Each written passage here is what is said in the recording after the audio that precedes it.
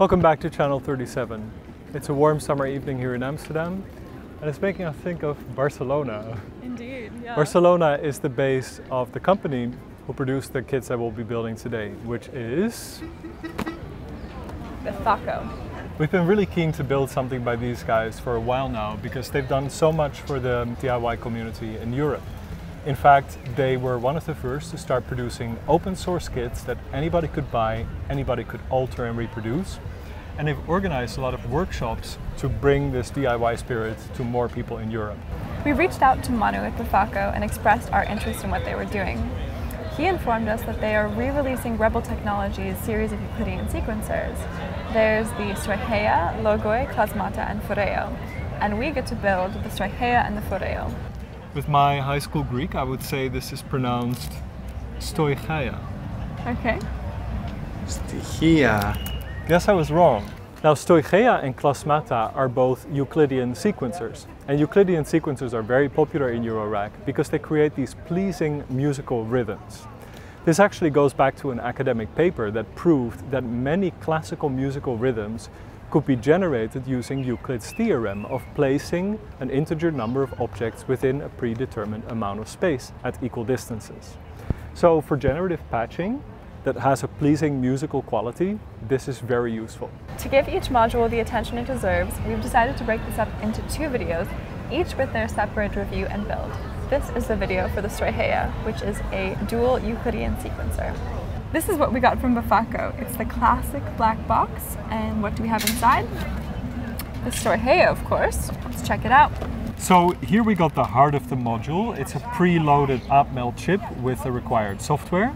And we also got some other parts here, various control interface parts, the potentiometers. And this is how you know it's from Befaco, because it comes with knurlies, the Eurorack screws that you can tighten by hand and with a custom Befaco tool for their Bananuts. Here is the classic black panel. We are super happy that Manu shares our taste and aesthetics. Note the Rebel Technologies logo on the bottom so you can tell it's a collaboration. For the inexperienced builder, it's reassuring that Befaco kits come with these detailed build instructions so you can really tell that they're making sure people have a good time building these. One thing I already like about this module is that the front panel has been simplified. I found the original Stihia front panel to be a little counterintuitive, uh, but this one is just very clean and easy to navigate. With so many options for Euclidean sequencers, you might be wondering why this one. Well, there's three reasons. The first is that all the functions are at your fingertips, making it really accessible for a kind of live situation, with each function having a big knob. The second reason is that there are very few options for DIY Euclidean sequencers, uh, most of them being professionally built, so this gives you a hands-on experience. Also because Channel 37 is focused on DIY, this makes it much more relevant for us. And the third reason is that it's just very affordable. So if you're just building up your rack, Befaco is a really sensible option. So we're gonna head home and we're gonna build this puppy up and make ourselves some Euclidean rhythms. I'm excited. This is everything that should come with your kit. Let's start with wiping the PCB down with isopropyl alcohol. Now open bag A. We'll start with 9 1K resistors. I'm using tweezers to bend the legs. Place the resistors in these positions.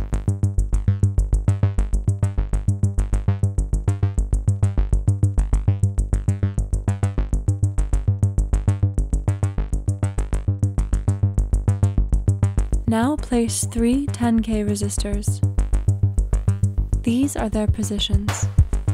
Use a multimeter to distinguish the 100K and 100 ohm resistors. First place the 200K resistors, then place the 200 ohm resistors. What's left is two 1 mega ohm resistors. Place them both. Then solder everything in place. When soldering from above, make sure the solder flows all the way through the via.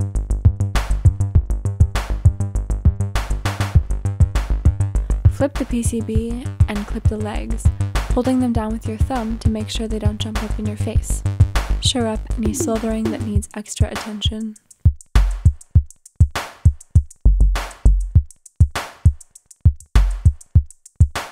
Then place the single diode, minding its polarity. Next is the IC socket. Make sure to orient it correctly, matching the notch the illustration on the PCB. First, solder the two corner legs, then check to see that it's completely flush with the board before soldering the remaining legs. You can rest the PCB on a piece of foam to keep the socket in place while you solder. Next, place 300 N capacitors.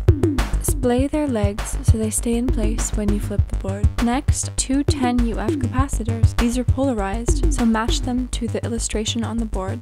Next is the 10 MHz resonator. This is a sort of clock source for the chip. Solder everything into place.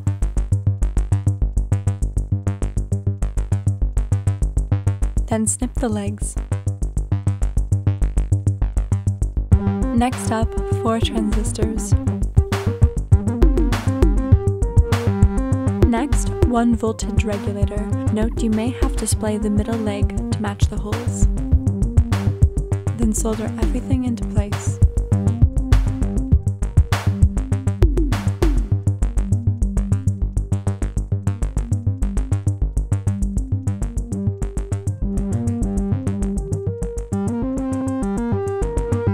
Now it's time for bag B.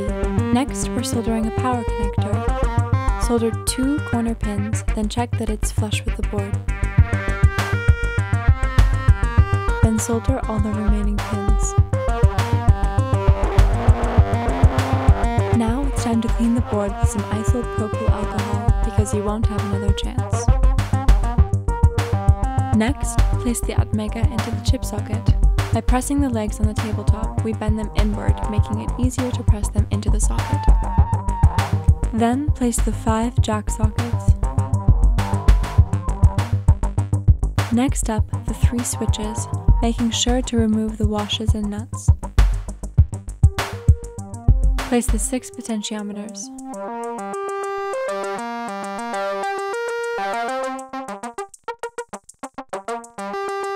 Then place the three LEDs. Watch their orientation as these are polarized. Slip a nut onto each potentiometer.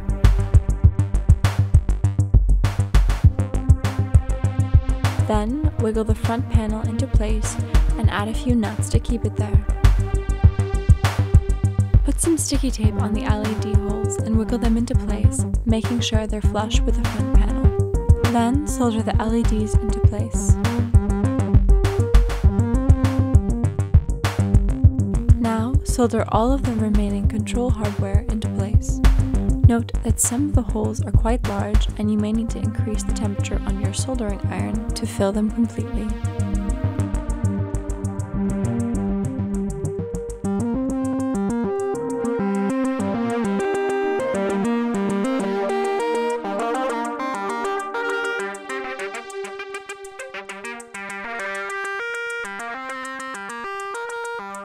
Then remove the sticky tape and snip the legs. Give your board a final clean with isopropyl alcohol. Then place all of the nuts, including the colored banana nuts. Black is for inputs, red is for outputs. Now rotate all potentiometers fully counterclockwise. Place the knobs but don't press down yet. When you're sure they're all perfectly aligned, start pressing down with the force of titans. Really show the board who's boss. You can do it, big boy. Or girl. That's it, your stahia is finished. Now do a quick smoke test by attaching your new unit to a power supply. This is one we built specifically for testing. And that is how you build a stahia. We know you've had to wait a little longer for this video than for our other ones, and that's because we encountered some surprises during the build. One of which is that because this was an early test version of the kit, uh, we didn't realize that the microchip would arrive unprogrammed. So we had a choice either to wait for a pre-programmed chip in the mail or to go the hard way and learn how to use a JTAG programmer ourselves. And we opted for the latter version, inviting our friend Stijn from This Is Not Rocket Science to come over for a lovely dinner and to explain to us how the this how to use this little gadget. but after programming the unit, it ended up working on the first try. So let's get to reviewing. Let's start with the first category, face. It's a very pretty unit. I love the sleek matte black faceplate. Uh, the faceplate has been simplified compared to the original Rebel Technologies version. The knobs make it look like something out of a James Bond villain's control room where they're like controlling space lasers. It's pretty sleek. What do you think, Lily? Um, I would agree with that. I had a, a similar kind of association with the aesthetic. It's gorgeous, it does what it needs to, and looks really good doing it. The second category is the crave category. Do we want it? What do you think? I think everyone needs a Euclidean sequencer, and this does a really good job of creating really, uh, really nice sounding rhythms. So it's great. Euclidean sequences are popular in Eurorack, so you have options. One of my favorites is the DOT sequencer. I think that's a really nice, very compact unit with a visual display to show you the Euclidean rhythm. But if you want to go DIY, Stihia is a great choice and also the only one, as far as I'm aware. So the next category is groove. Does it groove? Euclidean rhythms are inherently groovy and pretty catchy, um, but it's just one element in, of, in a composition, so you really have to focus on what you can do from there. Yeah, so you can do different things with it. You can sequence percussion with it, you can sequence a melody with it, you can use it to add accents to another part of the composition. But just a repeating Euclidean rhythm alone is not an idea. So it can be the foundation of a track, but it would be a little difficult for it to be the highlight of the track. So it is inherently groovy, but you have to get creative with it. Final category is the noob category. How easy is it? Extremely easy. Uh, my little sister could do it. It's absolutely super straightforward, through hole soldering, amazing. It took all of 20 minutes to put this device together. The soldering was easy, uh, it worked on the first try, so anybody could do it. This would be a really good start for building Eurorack modules. There's only one thing that was really challenging about the build, and that is getting the knobs on the shafts. They are so tightly fitted that with my hands, which are pretty strong, I've been climbing for 20 years, it took all I had to get them on there. And if I'd made a mistake in the soldering and would have had to take it apart again, that would have been drama. The other thing that was a bit challenging is that one of the voltage regulators has three legs that are placed in series, but on the PCB they are kind of staggered, so you have to use tweezers to bend the leg uh, so it will go into the holes easier. But those are easy fixes. Um, now that we've told you, hopefully you'll be prepared for it hmm. and it will be an easy build for you. Yeah. So we advise you start climbing directly tomorrow so that in 10 years you'll be prepared to put the knobs on for the Stihia. that was our build of the Stihia by Rebel Technology and Befaco.